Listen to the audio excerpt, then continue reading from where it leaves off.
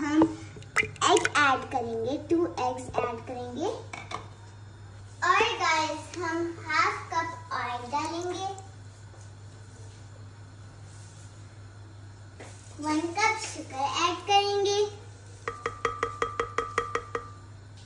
अब हम इसको ब्लेंड कर देंगे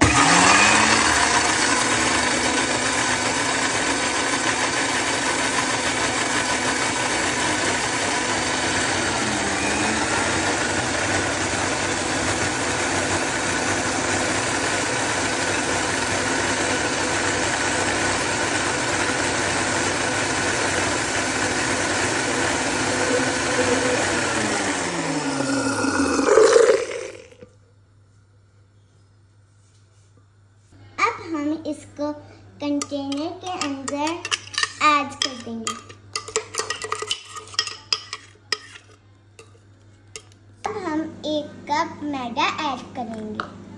हम one tea teaspoon baking powder डालेंगे। बेकिंग पाउडर और डालेंगे थोड़ा सा। साथ थोड़ा सा बेकिंग सोडा ऐड करेंगे। अब हम इसको अच्छे से स्टेन कर देंगे।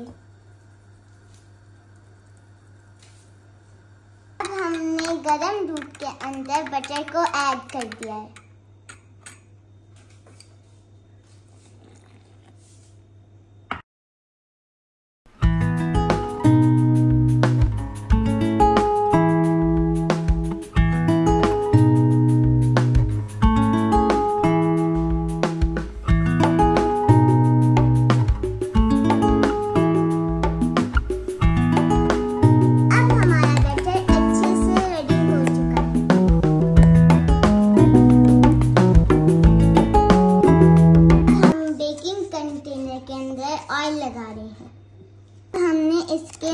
बेक पेपर लगा दिया है।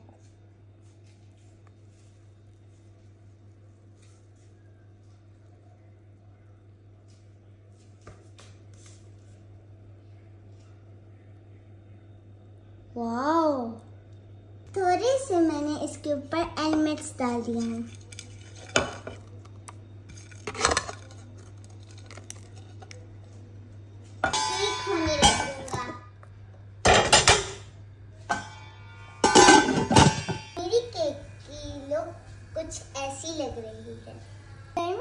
ज़्यादा हुई थी तो सोचा आलू का जूस ही बना लें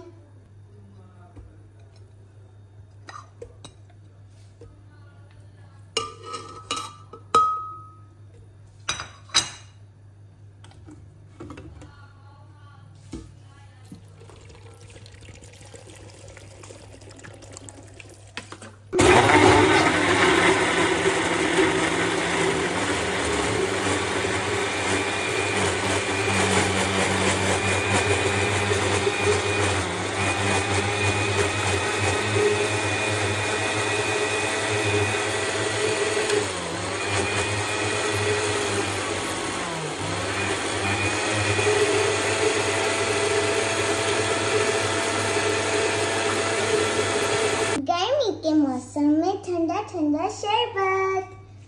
मैं आपको टेस्ट करके दिखाता हूँ।